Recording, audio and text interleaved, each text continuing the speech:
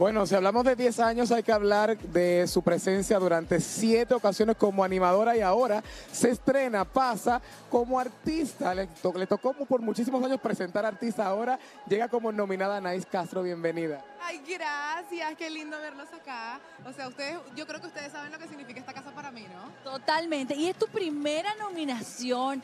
Yo creo que me sentí tan feliz cuando te vi florecer como cantante. ¿Qué significa ver este sueño hecho una realidad? No, no, yo no te puedo explicar. O sea, son demasiadas emociones al mismo tiempo. Como tú lo dices, yo me formé en esta casa y en esta casa aprendí de los artistas que más amo, entendí de la industria, me acerqué y entendí cuáles son los ritmos que me representan y que hoy esta casa me está abrazando con una nominación a promesa musical. Ha, ha- ha sido difícil, por, por ejemplo, demostrar de que la comunicadora deja a un lado el micrófono y ahora a esta faceta de artista, porque muchas veces se, se tiene ese prejuicio con Claro. relación de que si esto es simplemente un juego. como que si no lo puedes hacer, ¿no? La realidad es que no.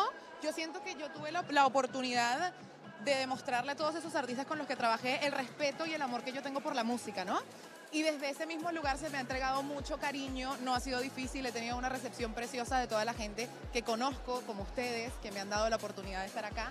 Y todos los artistas también que conocí los están recibiendo con mucho cariño, así que los quiero invitar a todos, ¿no? Te deseo mucha suerte y vamos a cerrar este bloque cantando un poquitito. Que Nice. si mi nueva canción se llama Bolero Feliz. Ajá. Y dice así, me comieron las ganas de verte en las mañanas y dejarme guiar por tu voz. Claro que sí. Bella, te deseamos mucha suerte. Brilla, mi amor, te mereces todo lo mejor. Mira, mira, cualquier botellita que usted tenga ahí, un guarito, destápelo porque nos vamos con esto así. Ajá, Ah, que dice.